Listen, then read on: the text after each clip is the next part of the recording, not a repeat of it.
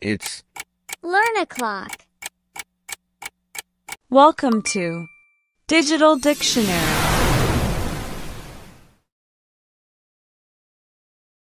Meet the planets.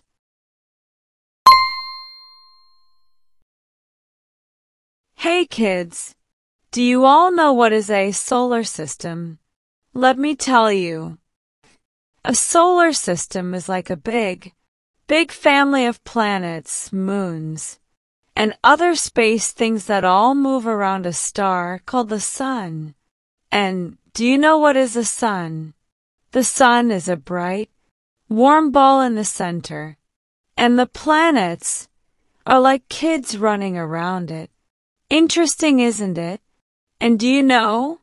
Each planet is different. Some are rocky, some are gas, and some are very, very hot or very, very cold. There are eight planets in our solar system. Let's learn about all of them today. Hey, my name is Mercury. I am the first one of all the eight planets. I am the smallest and closest to the sun. Hey, my name is Venus. I am the second one of all the eight planets. I am the hottest planet in the solar system. Hello, my name is Earth. I am the third one of all the eight planets. You can call me home. I am also the only planet with liquid. Hi, my name is Mars. I am the fourth one of all the eight planets. I am really dusty and cold with a thin atmosphere. Hi, my name is Jupiter. I am the fifth one of all the eight planets. I am twice the size of other planets, so they call me giant.